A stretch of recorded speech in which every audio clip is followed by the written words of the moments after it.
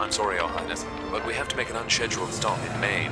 How long until we take off? Uh, the captain said it could be a couple of hours. The sooner we're home for Christmas, the better. I think I will lie down for a while. I'd like not to be disturbed.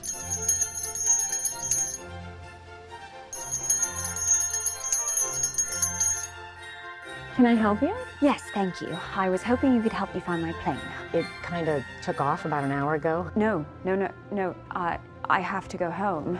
Don't worry about it. Uh, we can help. Hi. Hello. Dad, this is Amelia. I was stranded at the airport, and your mother was kind enough to offer to put me up for the night. Welcome to Tucker. The palace has been a buzz since your disappearance. I'm fine. I'm staying with a lovely family, the Cutlers. I'm perfectly safe.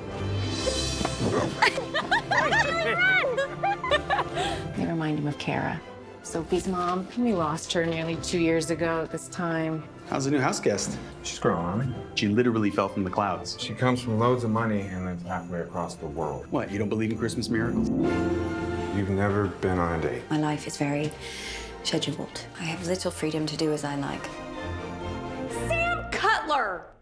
Uh-oh.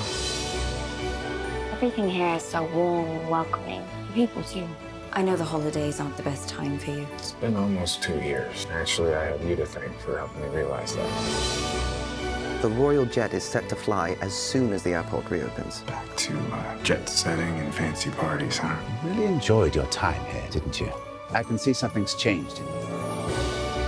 The hospitality I have been shown has been extraordinary. Kindness and generosity reflect the very spirit of Christmas. Still feel extraordinary. Well, never.